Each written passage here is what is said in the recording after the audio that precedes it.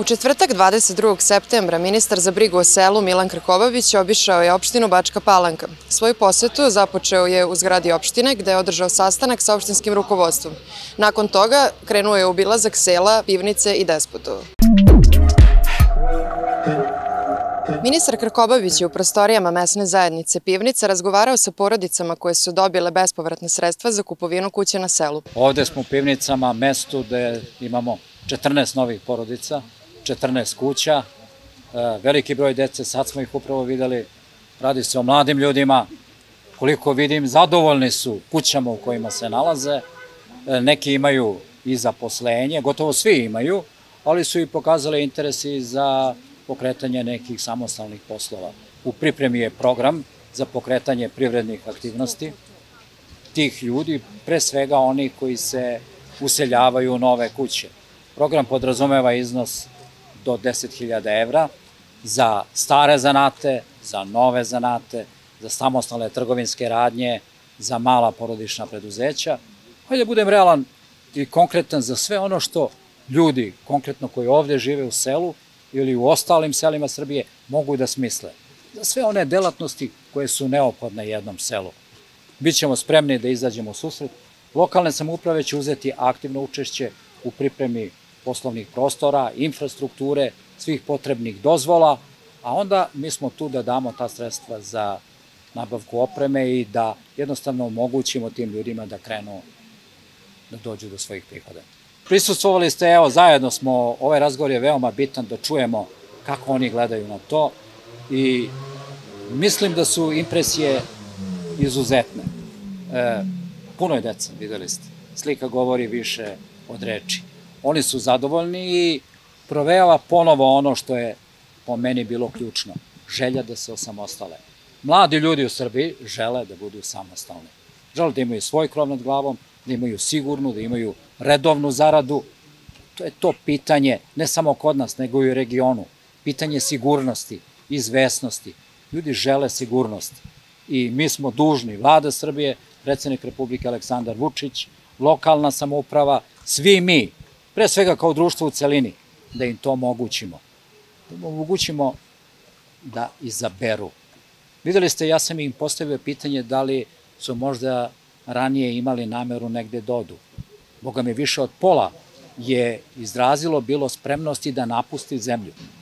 Na ovaj način mi omogućavamo da ti ljudi ostanu ovde. Ali i šaljemo poruku da neki drugi mladi ljudi koji su otišli napolje krenu da se vraćaju nazad. Vremena su teška, bit će još gora.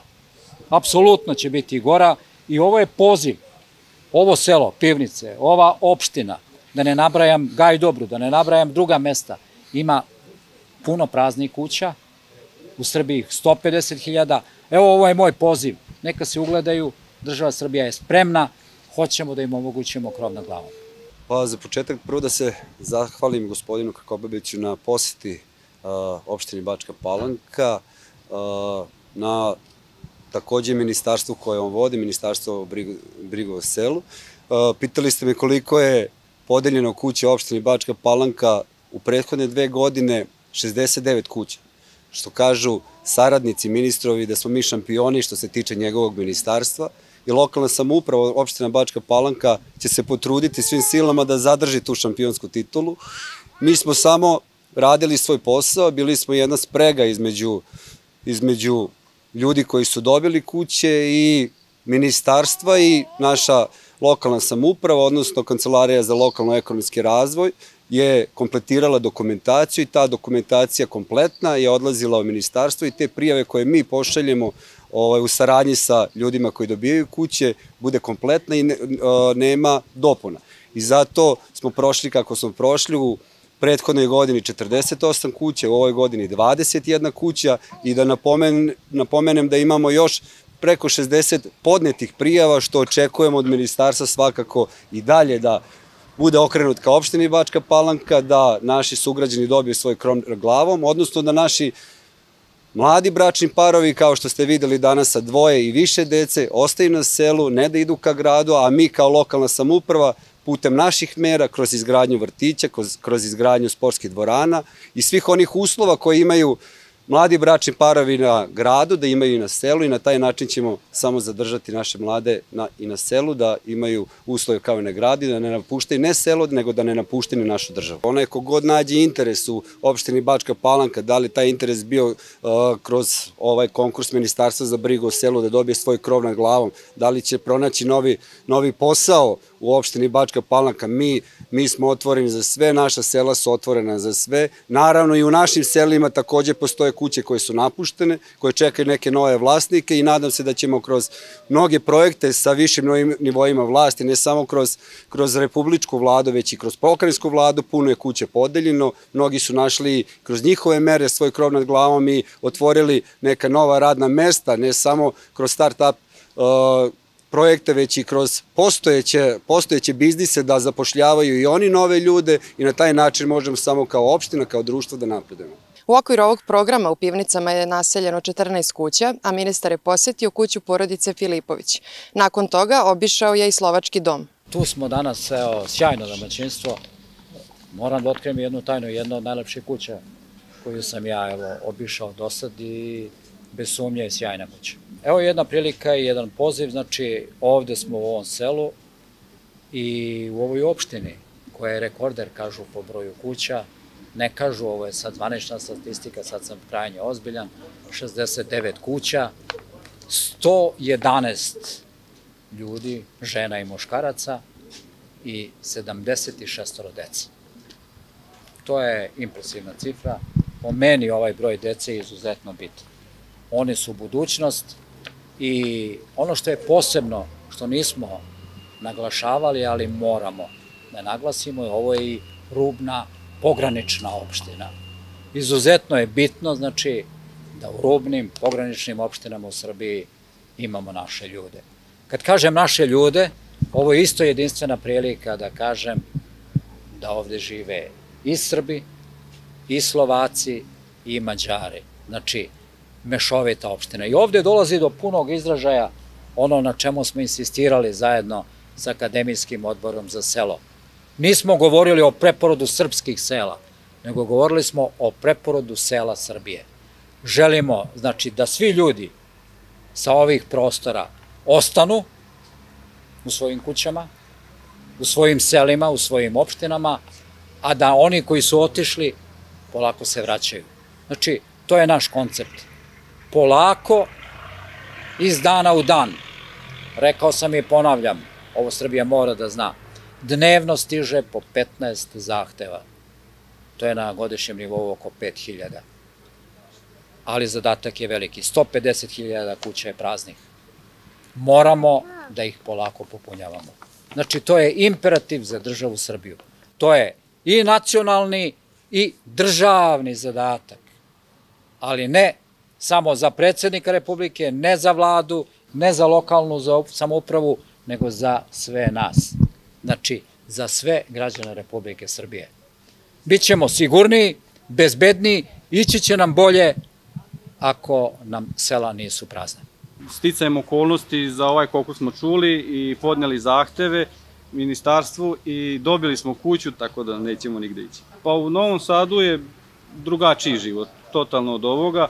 E, ro, rođen sam ja ovde, ipak e, me je vuklo selo. Tako da ne može da se to zameni. Lepo je otići za grad, ali nam je lepše ovde.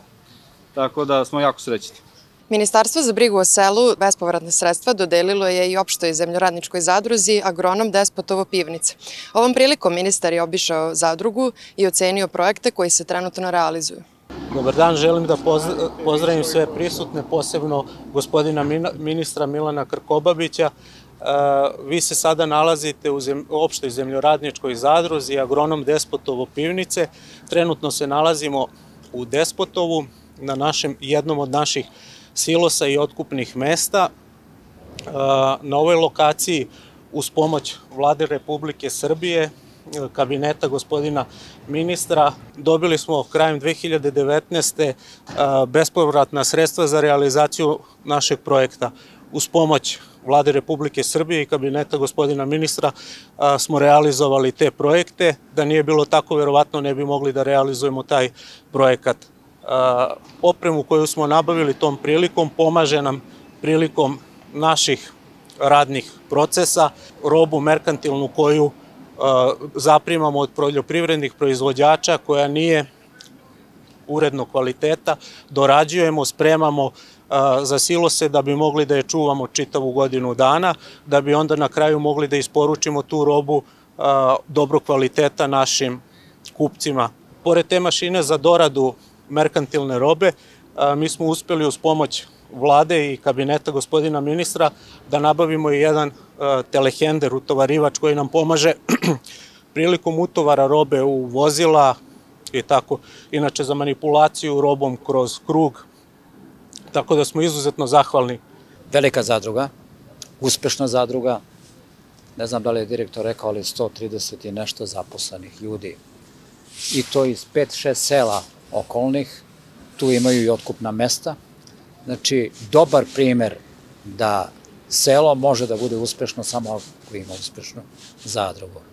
Ova zadruga je ratarska, povrtarska, ajde da kažemo, e, obrazac zadruge koja se prilagođava realnim uslovima. E, investicija koja je ovde uložena je materializovana, videli smo je. Ona pomaže tehnološki proces, unapređuje ga, znači ima smisla ulagati na ovakav način. Kad kažem ima smisla, ima smisla, to su 130 porodica koje žive i mi smo na teritoriji Južnobačkog okruga pomogli za ovih nekoliko godina, ako se ne varam, 19 zadruga. Ovde u Bačkoj Palanci dve zadruge smo pomogli. Znači, zadrugarstvo, tu je i predsednica Zadružnog saveza Vojvodine, imanentno, pre svega, najuspešnije u Vojvodini. I ono treba da bude obrazac. Ja bih voleo kad bi ovakve zadruge imali širom Srbije. Znači, ako imamo dobru zadrugu, onda imamo rešenja za veliki broj ljudi, za sigurnu egzistenciju tih porodica. Ono što nas ne raduje, je li tako, to je ovogodišnji prinosi. Ali to je ta čud prirode koja je tu, ali na nama je da u narednom periodu razmišljamo kako da se suprostavimo. Tu su i e, delovi kanala Dunav, Tisa, Dunav. Hajde da vidimo da taj kanal konačno stavimo u funkciju pa da ne razmišljamo o suši, o navodnjavanju i o odvodnjavanju. Evo jedan primer, praktičan. E, samo sa povećanjem tog navodnjavanja možemo da imamo mnogo bolje rezultate. Za vas jedan podatak da u Europskoj uniji se navodnjava od 23 do 25% poljoprivrednog zemljišta, kod nas je to 3%. Kanal Dunav, Tisa, Dunav je urađen kao najveća investicija ondašnje Jugoslavije, spremna je da odvodni milion hektara i navodni 500.000 hektara. Stoji ovako. Evo, to je jedan moj predlog za razmišljanje. Mislim da će bitno da utiče i te kako bitno da menja ovo, da ne očekujemo kakva će biti čud prirode. E, zadruga u kojoj se nalazimo je istovremeno i potvrda da ulaganjem u zadrugarstvo mi ulažemo i u opstanak sela. Znači, e, priča selo bez zadruge ne stoji. Onoliko koliko je uspešna zadruga, ja to uporno ponavljam, uspešno je i selo. Ne znam da li ova zadruga pomaže, ali da imate uspešnu zadrugu, imate i futbalski klub, imate i folklor, imate i kulturno-umetničko društvo, imate sve, jednostavno imate život. Trenutno ova zadruga se svrstava u red, da kažem, e, top najvećih zadruga u Vojvodini koje su u prethodnih 20 godina ostvarile najveći rast. Naime, za 20 godina postojanja, e, pored sobstvene proizvodnje, ogromne kooperacije, ova zadruga ima i veći broj ogranaka, ima diverzifikovanu proizvodnju, kao što smo čuli osim ratarstva i u povrtarstvu, e, finalizaciju svojih proizvoda iz oblasti povrtarstva u, znači, trži, u sistemima maloprodajnim, tako da je već dostigla onaj prvi neki cilj, a to je da povežemo poljoprivredu i e, trgovinu. Znači, došli smo do toga da sa ovom zadrugom možemo očekivati e, da se svaka investicija ovde e, koja se plasira e, stostruko isplati. Imajući u vidu da preko 100 ljudi ovde radi, da preko 1000 kooperanata svake godine ugovara proizvodnju sa ovom zadrugom i u svakom smislu reči e, ovo jeste jedan primer uspešne poslovne prakse e, za koju mislimo da može biti primer i u drugim naseljenim mestima kao jednog od modela kojim se zadruge mogu razvijati, a sa druge strane i poziv uvek poljoprivrednicima koji nisu deo zadružnog sistema e, da vide kako rade kvalitetne zadruge, da vide da je u uslovima kao što je ova godina, kada su prinosi izuzetno loši, kada će postojati problemi sa skladištenjem e, proizvoda, e, znači postoji rešenje. Postoji rešenje ako imate zadrugu koja može da obezbedi bolje uslove i ovakvim godinama, a mislim da je to nemerljivo i kada imamo u vidu da će prihodi od prodaje proizvoda zbog smanjenih prinosa biti svakako niži s jedne strane, a s druge strane opet smo suočeni da nas čeka, rekli smo prošle godine, najskuplja setva ikada, sad opet kažemo još skuplja setva. U Južnobačkom okrugu Bačka Palanka beleži rekordan broj naseljenih kuća u okviru programa Ministarstva za brigu o selu. Najavljena je i pomoć za pokretanje novih biznisa u selu u iznosu do 10.000 evra.